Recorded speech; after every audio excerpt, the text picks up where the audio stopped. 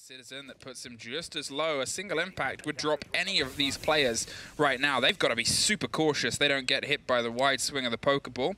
20 seconds. Citizens still above the hatch. They're trying to apply some pressure elsewhere, but there's smoke canisters to contend with. There's maybe cap cans, and that's, again, all damage that will be lethal in this state. G2 are doing their best to try and recover something, but it's just going to have to turn to a mad dash underneath the kitchen hatch here.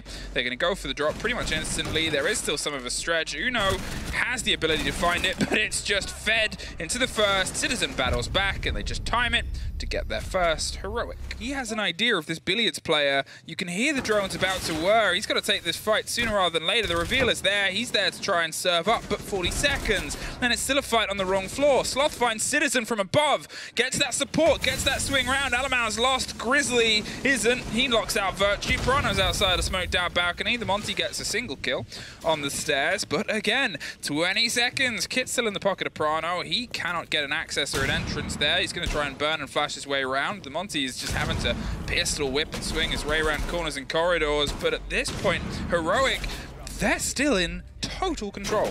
Absolutely, there's very little G2 can do here. Alamau, he manages to find one with a pistol, but it's going to be a consolation kill and no more as Grizzly. He locks it down, and that's going to be 2-0 to Heroic. Grizzly's in a tricky situation, but Uno has his back. The Finnish man of Cool is able to keep it and drop that player out on the swing. Virtue's crept his way in. Do they know about the player that's underneath, though? Are they aware? Gorgona was the reason they took so much damage.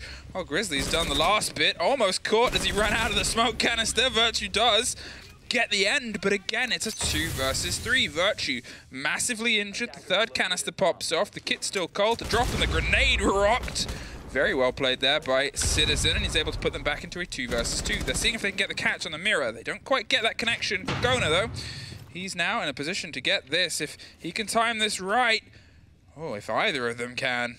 They know, they know that he's down there, but it was just the angle that eluded Virtue. He gets himself up onto the catwalk. Gorgona's going to have to get moving if he wants to be able to have any impact here. He's going to get an absolute freebie as Citizen tries to get himself up the catwalk stairs. Can he finish things off? He's got that diffuser down on the ground. He's going to cover it as long as he can, and Virtue, he's only one bullet away. Gorgona finds it, and what a play from the oil pit. Unreal from Gorgona, and Heroic clinging on there at what was a valiant G2 effort, but just not not enough. time. So it has been possible for Alamo to open that up with the sledge and at least give them an angle of attack in there.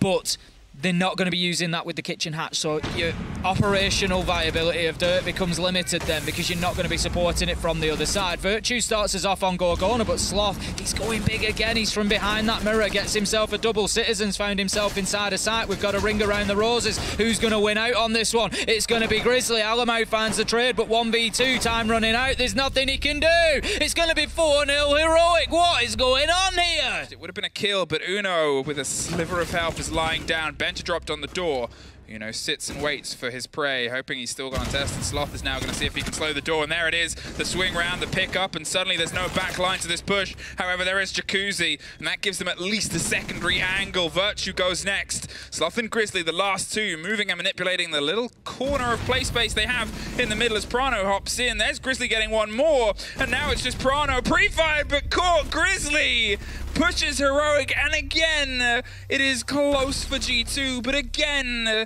it is a win for Heroic, 5 to 0. Don't get away with this one again. Uno, of course, bringing it a little bit closer, but G2 are taking their time. They're droning out here. They know where Grizzly is, and Doki's going to find him. That's the kill that they needed, and that's going to be the catalyst for the round. 1 minute 15 left to go, and G2, you're about to see some aggression from them, I think, as they will start pushing in. Dorky finding Sloth. Heroic knowing that it's just roll of the dice time. They've got to take every opportunity they can and trying to make something happen. They won't mind at all, though. Uno manages to find Doki with a headshot 1v3, low health, and going to be finished off by Alamo. Heroic finish out the half 5-1, with G2 managing to get their first round on the board in that final sixth round on the left-hand side of your screen. So, Benja, he's aware of that, looking to join Uno potentially. Doki on the roam. Alamo is going to open us up with one onto Sloth, and that could be a big problem here. But Benja able to find Virtue, and that opens things up for the Monty to move in. But yet again, these kills, they just trade back and forward. But now, G2 able to double down. It's all coming in to the dirt tunnel push. They, they get that early kill and that first take from Alamau, who followed up with a second.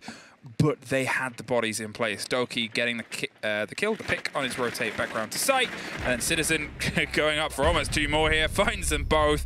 With an Echo drone doing the busybody work at the feet, they always had a plan B. They always had a backline, and now they have a second round. Seeing if they can get a catch, but with players still above, it's not an easy place to play. It's not a place you can really be confident in all the time. There goes one of the Echo drones, and that puts Prano in a situation now where he's got to use his gun. Citizen suffers next, but 15 seconds, and here it goes. Virtue's going to find Heroic. They have to get in and start getting this diffuser down here, and it is currently on the ground. Benja manages to find Doki, though. Level things up three versus three. Gorgona collects diffuser. He's in a position to put this down. There is some cover in place. It's going to be for Benja, but no, Citizen on the flank manages to get both, and that is a solid defense from G2, two in a row, and you start looking at the possibility that they could run this back. Rotation coming from Lounge.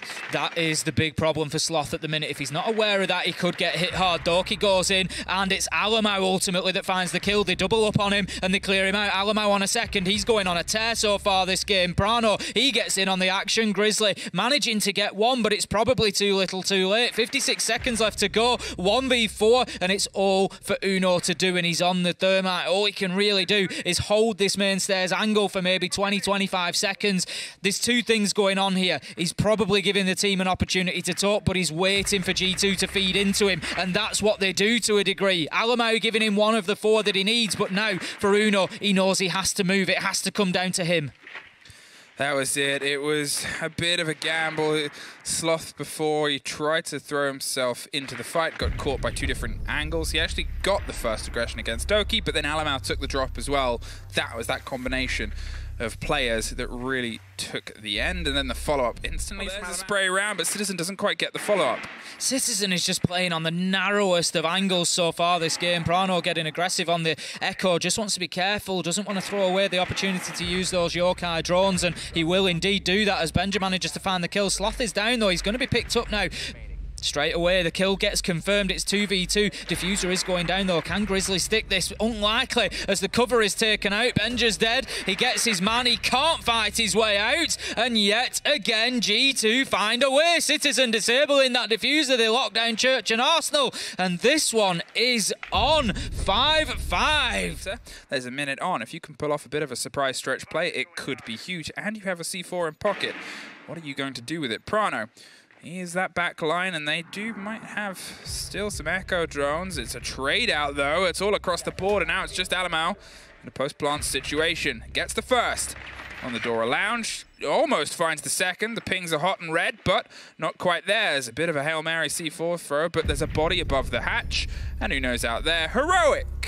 Hey, it took you just as many to find your first. However, unlike your opponents, you now have an option to find a second and the three points. Heroic here back on the drones late in the round, two minute mark, and they are still trying to find who is where. Citizen is still inside a CCTV, but Grizzly able to find a nice kill there. Alamo nearly finds himself a freebie as one just strolls across the window. Prano taking damage. It's all coming down to this. Grizzly is down. It's effectively now a one versus three, and this is not going to happen for Alamo, I don't think. He's on the pistol. He knows where they're coming from, but can do nothing about it. Final kill. And that's going to be 7-5 heroic after what was a major scare from G2 for them.